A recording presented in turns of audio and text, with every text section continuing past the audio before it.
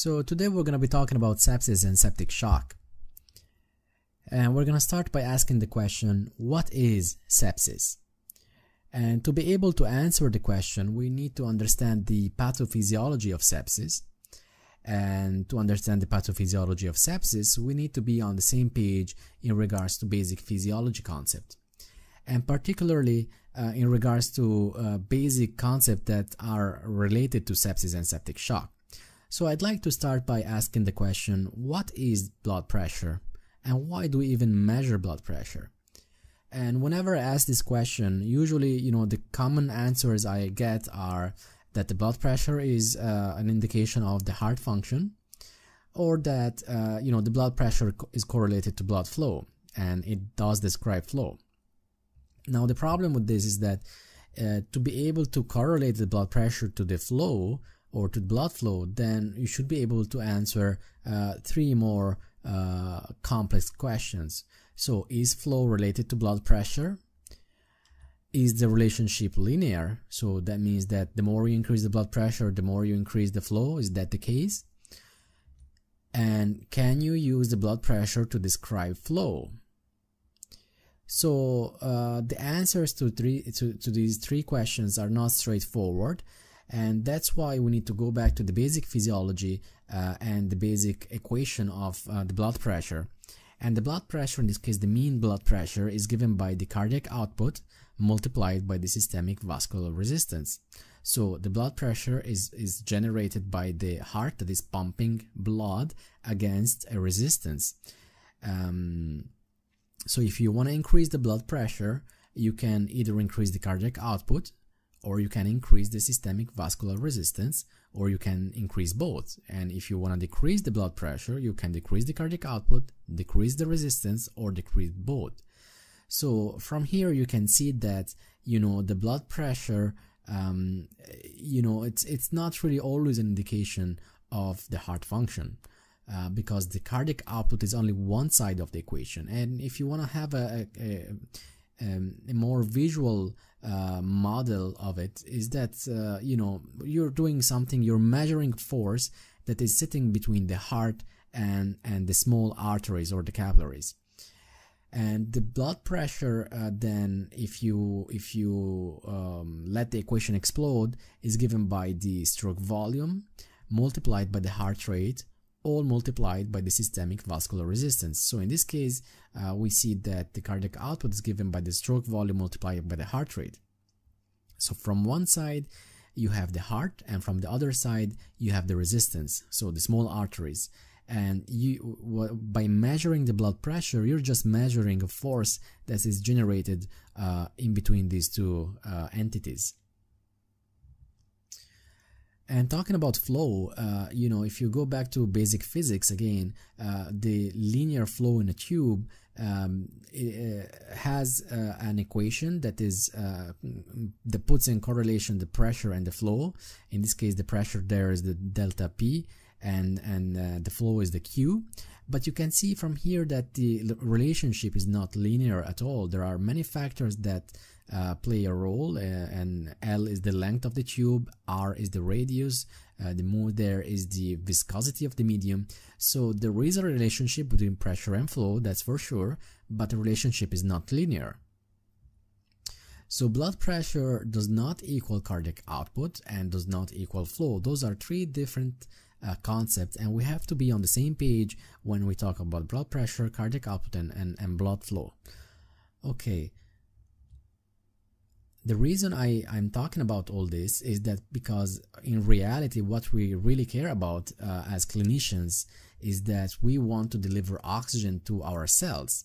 Uh, because this is how life works. We have uh, a blood uh, stream, we have capillaries, we have oxygen that is carried into our blood, and we want to deliver the oxygen from the capillaries to the cells so that the, uh, the cells can utilize the oxygen and generate energy and they release uh, CO2 in the process. So um, it's important that you know our goal should be uh, delivering oxygen to the cells, to the mitochondria, and not really focusing just on the blood pressure. So that is why we um, introduced the concept of oxygen delivery in physiology.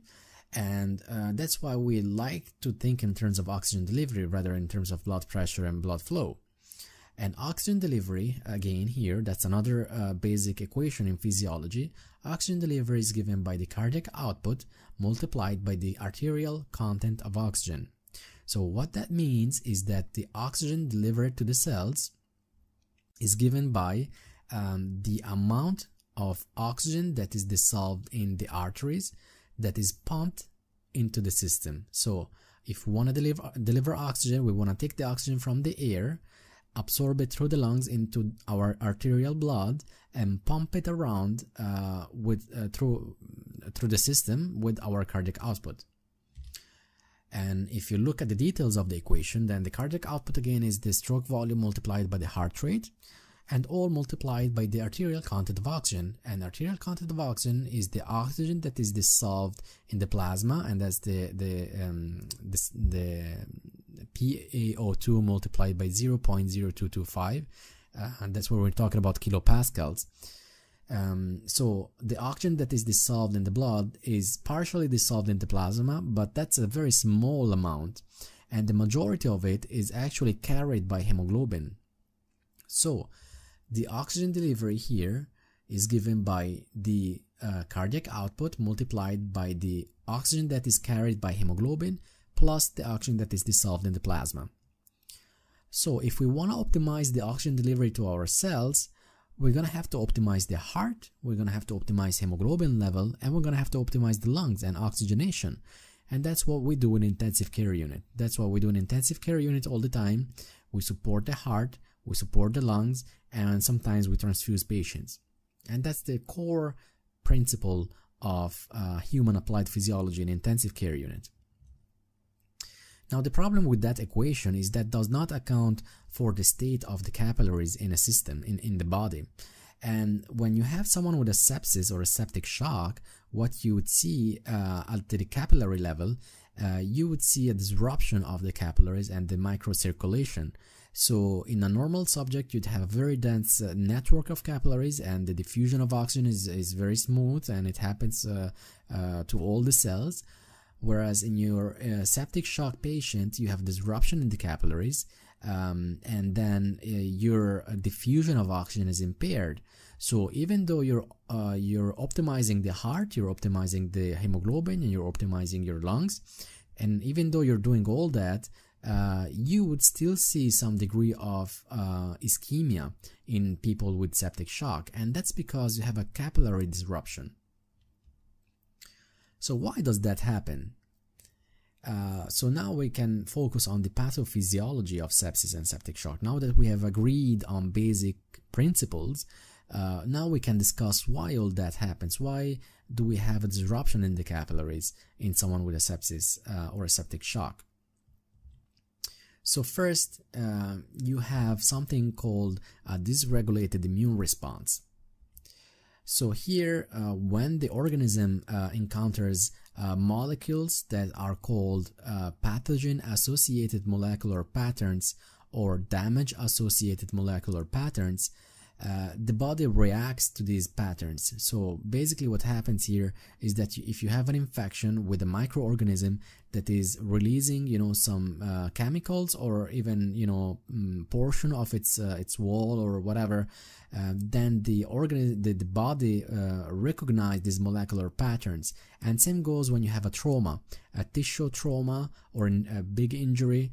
Uh, it does release some degree of um, you know um, molecular patterns that are recognized by our body and, and are recognized specifically by the immune response, uh, innate immune system.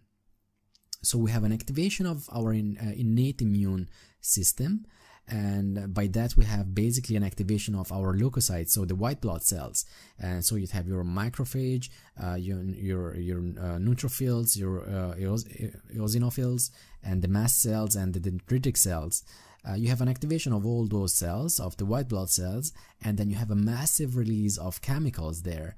Uh, you have a massive release of chemicals and uh, and other substances um, that uh, really generate uh, um, a, you can imagine it as a soup of chemicals that travels around the system.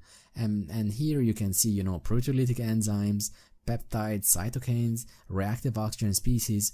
All of that gets released by those cells and all of that gets released into the system into the uh, bloodstream and goes around and does damage you have to imagine this as an acidic soup that is released by those cells that are reacting to those uh, molecular patterns uh, that are either released by bacteria or whatever, you know, microorganisms, or by tissue damage. So this uh, acidic soup uh, travels around the bloodstream and goes into the capillaries and, and creates damage and creates damage specifically at the level of the endothelium of capillaries. And here at the endothelium, um, you have this structure that is called glycocalyx. Uh, that usually protects the endothelium uh, from you know uh, from exposure so when you have uh, the release of these chemicals you'd have disruption of the glycocalyx a damage of the structure and then you have exposure to the endothelial uh, cell uh, to the uh, internal lumen of the capillaries and to, to these actual substances that are damaging um, the endothelium itself. So what happens is that uh, on one side you might have some degree of microthrombosis. Um, so the basically the red blood cells stick to the uh, endothelial wall that is uh, exposed now because the glycocalyx is gone and on the other um, side you might have some increased permeability of, of the capillaries because again the endothelium is exposed is exposed to these substances and it gets damaged. So you'd have a capillary leak of, uh, of water. So in this case um, uh, in, in both cases uh, either with microthrombosis of or increased permeability of the capillaries you have a problem with oxygen diffusion because uh, with microthrombosis, of course, there is no flow in the capillaries, the flow is stopped. Uh, whereas in the increased permeability, uh, you have um, you have water that leaks out of capillaries, and, and it sits into the interstitial space. So it sits between the capillaries and the actual cells. So you can imagine that the water that leaks out the capillaries increases the distance between the capillaries and the cells because you're increasing um, the volume of water in the interstitial space. And then you have you end up with the problem of diffusion. So diffusion of oxygen between the capillaries and the actual mitochondria. Uh, so you have a problem with affinity of oxygen and gradient of oxygen, the gradient of oxygen. You have a problem with the velocity or, or homogeneity of the flow, and you have a problem again with the density and the distance of, of the capillaries uh, between the capillaries and the cells. And uh, you see both these conditions at the same time. You see microthrombosis and increased permeability. Uh, so this is what happens at the capillary level in someone who's responding uh, in a in a um, in a dysregulated manner. So the third element that we see in sepsis and septic shock is mitochondrial, uh, sorry, is cellular al alterations, and you see those at the level of the mitochondria. Um, in terms of you know um, disrupted pathways in the mitochondria that leads to decreased uh, um, production of energy, uh, increased release of you know reactive uh, reactive oxygen species, uh, increase apoptosis of the mitochondria, uh, you know, and increased release of, of more uh, damaging molecules. And then you also see some cell death, death pathways activated. And those are activated really by the interaction of some cytokines or chemicals um, with the actual genetic codes of the cells that leads to necrosis, apoptosis, and autophagy. So you'd have uh, you'd have uh, cellular death, mitochondrial dysfunction. So overall, you'd have uh, cellular alterations due to, to the release of those uh, chemicals. So so overall, you have these three uh, pillars of of uh, sepsis and septic shock. You have again dysregulated immune response to to stimulus. You have endothelial dysfunction and you have cellular alterations. All of those lead to a problem in the capillary uh, site. You have a problem at the capillary level, at the mi microvascular level, and therefore, even though you have optimized your heart, your lungs, and your hemoglobin levels, or your your you you have tried to optimize your oxygen delivery, and you might have optimized your blood pressure and everything, you might still have a degree of organ failure because you're not able to diffuse oxygen to the cells, uh, as we discussed before. So basically, uh, if the process uh, pr mm, progress, you end up with something called multiple organ failure or dysfunction. Uh, so again, uh, as we said, uh, you have sepsis, you have septic shock, you have uh, dysregulated immune response, and all that we discussed before. Uh, you have uh, impaired diffusion of oxygen to the cells from the capillaries, and then you start seeing the tissues uh, so the, the cells start to suffer and in turns the tissues start, start to suffer and then the organs start to suffer so at some stage you start seeing uh, uh, dysfunction of the organs and by organs we we mean really all the organs in the body um, from the heart to the lungs, the liver, the kidneys, everything, the bowels even, and the brain. All of, of, all the organs get a degree of dysfunction uh, by the release of all these chemicals and the, the, the impairment of oxygen diffusion. So that's why when we talk about sepsis, we define sepsis as you know a dysregulated immune response that leads to one or more organ dysfunction, and then if the dysfunction is uh, progresses, then it, it it becomes a failure. Uh, it does not return to baseline, and it becomes an organ failure and when the organ failure is is really the cardiovascular system and then you have you know a circulatory shock then in that at that stage we we call it septic shock. So how do we recognize someone who has sepsis or septic, septic shock at the bedside? So as we said before you know uh, sepsis you have to have a suspicion of an infection going on there uh, or a big injury um, and then you would have uh, the emergence of a degree of organ dysfunction and you do that you you realize that by you know doing your labs and your blood tests and everything uh, and then you realize that there is an organ dysfunction going on and then you have your suspicion of an infection or a trauma and then you can say yes okay there is a, a sepsis going on here and then we start treating as we will see shortly. Um, if the patient is becoming uh, hypotensive and is becoming you know uh, and is showing signs of, of organ uh, hypoperfusion then uh, the uh, problem would become uh, evolving into a septic shock but at the bedside really you don't really see any of that. I mean at the bedside when you see a patient uh, and you encounter the patient for the first time the patient won't tell you that he or she are in shock or in sept or in sorry in septic in septic shock. Uh, you might go there um, because the patient uh, is having uh, an infection and uh, if you catch the lab results that tell you that there is an organ dysfunction then yes you can have a uh, a conversation around sepsis, possible sepsis. But usually you are called uh, at the bedside because you know you have a degree of hypotension, even though it's not always present. But that's uh, uh, most often the, the the typical presentation of someone with a septic shock. So you go there, you go at the bedside, you have in the back of your head a suspicion of an infection. Uh, you might have thought of that before, or you might uh, know about that, or a big injury. Um, and then the patient is uh, showing a degree of hypotension, maybe uh, you know um, hyper or hypothermia, um, very high or very low white blood cells, um, and then again some degree of tachycardia perhaps. So you go there at the bedside and you want to assess if the patient is going into a septic shock. So if you are suspecting a septic shock, you have to uh, analyze the perfusion of the organs uh, because that is what shock means. Uh, so, uh, so inadequate cellular uh, oxygen, sorry, utilization of oxygen. So in this case, usually it's it's discussed as hypoperfusion of the organs. And how to assess the hypoperfusion of organs at the bedside is by observing uh, three uh, clinical windows, and those are the brain, the kidney, and the skin.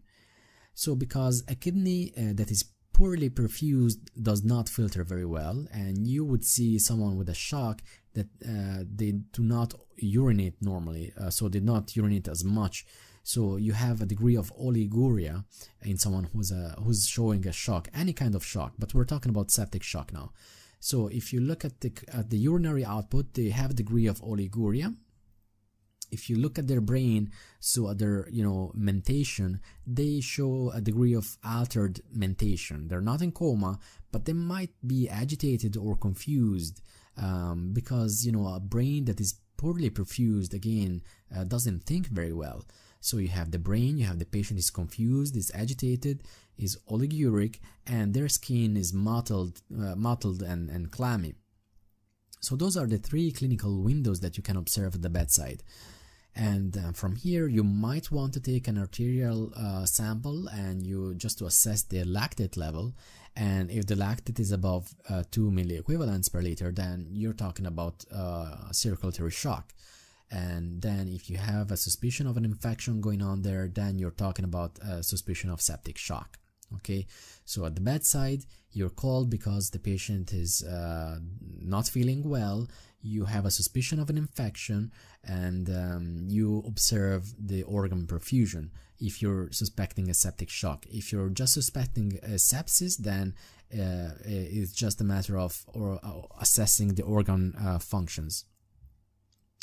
So how to assess at the bedside? Again, uh, just to wrap it up.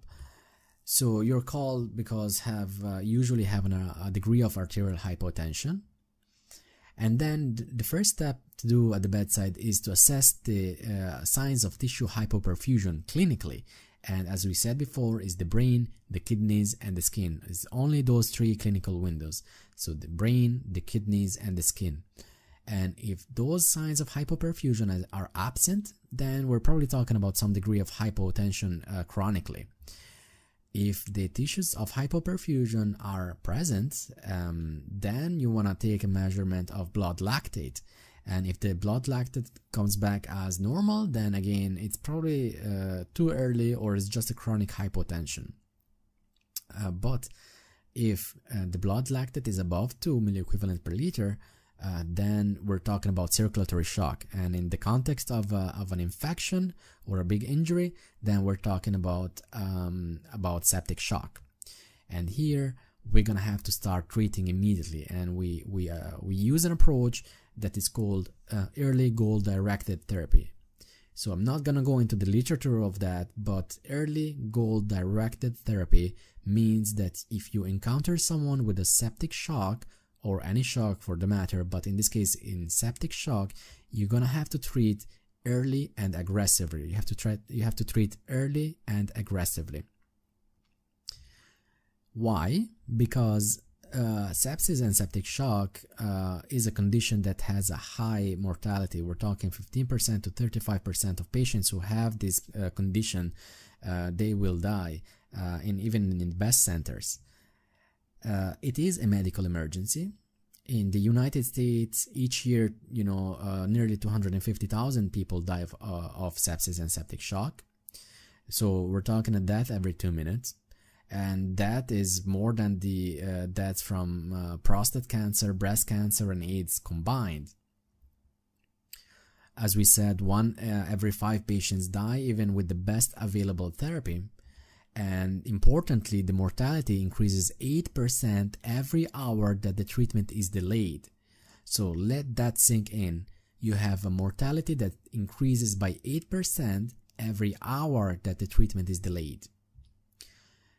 So this concept is not new actually. Uh, you can see it here from um, Niccolo Machiavelli's uh, book The Prince, uh, in which he wrote that hectic fever at its inception is difficult to recognize but easy to treat.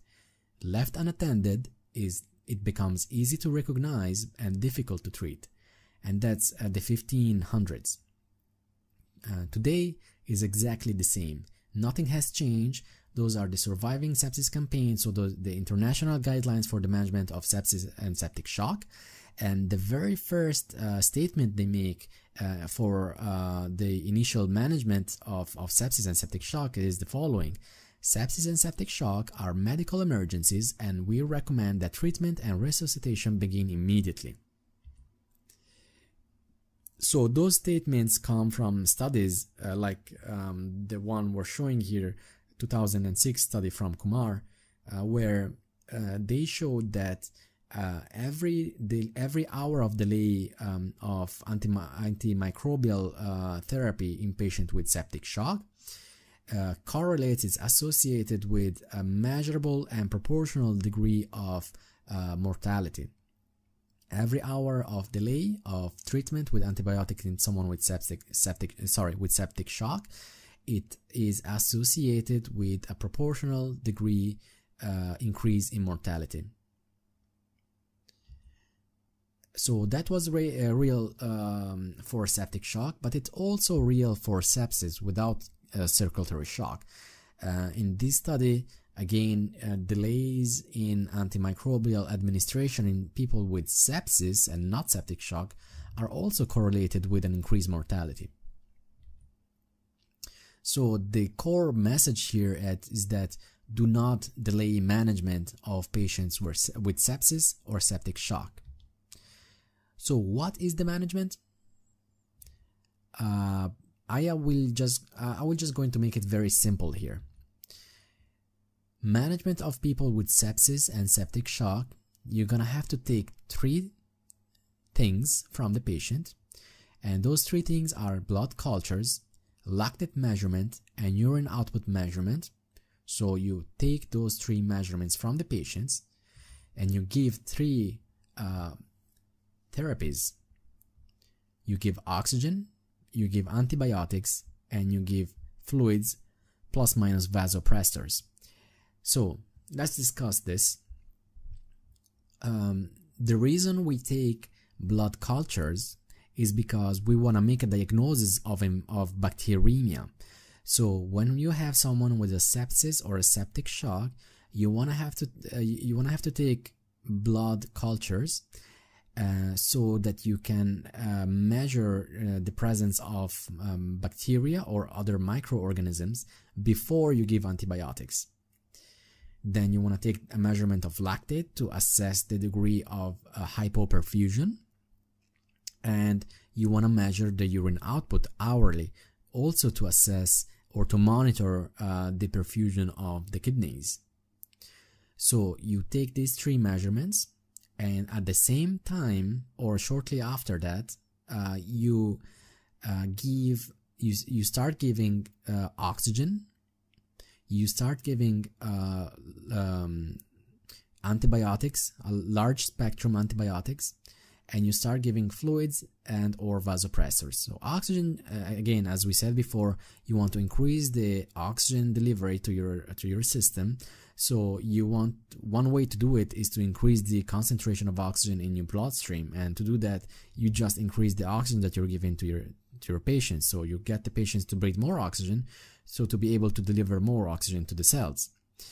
So you give large spectrum and broad spectrum uh, spectrum antibiotics because you don't know what you're treating, but you're just gonna be uh, very broad in your management. Empirical treatment, it's called, and then you want to give uh, fluids and uh, typically uh, it is recommended to give uh, 30 milliliters per kilogram of fluid of crystalloids um, to uh, counteract the effect of hypoperfusion. And at the same time if that bolus of fluid is not enough you can start uh, vasopressors at the same time that you're giving fluids. And by vasopressors usually uh, we give noradrenaline or phenylephrine uh, on the wards.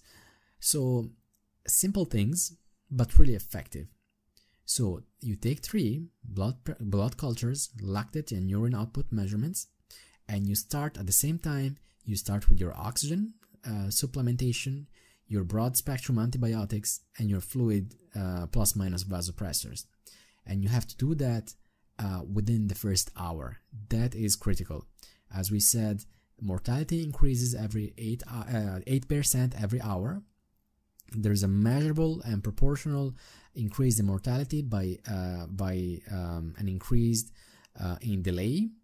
So you have to start doing these things within the first hour that you recognize a sepsis or a septic shock.